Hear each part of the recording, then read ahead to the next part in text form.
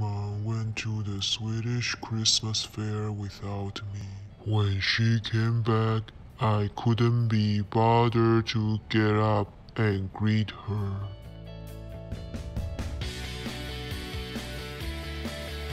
To make up for leaving me at home, Humum bought me frozen salmon at the fair. She dressed it up with a little bit of sushi.